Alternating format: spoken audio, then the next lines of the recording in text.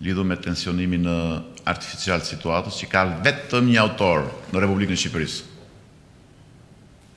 Edvin Kristaq Rama. Gjithë tjerët janë shërbëtorë të tij, janë instrumente të tij, kushdo qofshin. Kjo situatë e çmendur në Shqipëri prej vitesh, po sidomos këto ditë, ka vetëm një autor, ka dhe ka vetëm një përgjegjës për çdo gjë që ndodh, që është Edvin Kristaq Rama. Ecim tek video e parë. Presidenti i Republikës takon kriminelë, takon subjekte, takon etj etj. Spiunët që ka vënë nga mbrapa presidentit ai, se është budalla komplet, nuk e di që presidenti është poli agent i vjetër. Ë këtu ku shikoni videon që ka nxjerr kolegu juaj Mero Baze, që turp të ketë që mashtron e gënjen edhe në pleqëri, por nuk ka faj. Ky këtu ja kush është. Jo flës. Zoti Ramazan Topuzi. Ku jemi këtu ne? Zoti Ramazan, këtu jemi në lokalin e Llesh Mesitit. Në fund të Gjirit Lalzit. Djali i cilit është kryetar i organizatës së Partisë Socialiste edhe sot e kësaj dite. Pse kemi shkuar ne atje?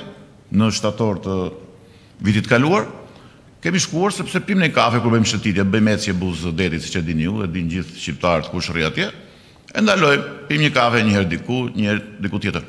Pse kemi qenë atë ditë atje? Sepse atij djalit disa hajdutë që kanë qenë diku në Lëvizjen Socialiste për integrim, edhe që kishin bërë lojra me hipotekat, i kishin thënë që këtë punën e tokës tënde këtu, jo e ka marrë Ilir Meta, jo s'e ka marrë Ilir Meta, dhe unë vajta atje, edhe sqarova atë djalin, e kanë hequr djalin, që është kryetar i organizatës, se ka qenë edhe ai atë ditë katër 5 minuta, sa është bërë sqarimi se ka pas një problem në familje apo shëndetësor dhe zoti Ramazan ka bërë padi në spak e ke bërë. Në spak. Po, e ka bërë padi në spak për këtë çështje sepse ndihet i fyer, thonë që e kanë konsideruar kontingjent sepse ky është përkundrazi, është një njeri i forcave ligjzbatuese dhe kështu do të jetë edhe në Të ardhmen. Është kështu zoti Ramazan. Të japim një kopje të letrës se s'ka nevojë të japim sqarime më shumë mediave. Jo s'ka problem, e japim pastaj. Pra ky është zoti Ramazan Topuzi, subjekti i OFL-së. Ish drejtor. Mos kenë merak ata se me OFL do vendoset drejtësia në Shqipëri, asnjë ligj i reformës në drejtësi nuk do të ndryshohet. Siç i ka bërë ligjet Edi Rama ashtu do vendosen të gjitha.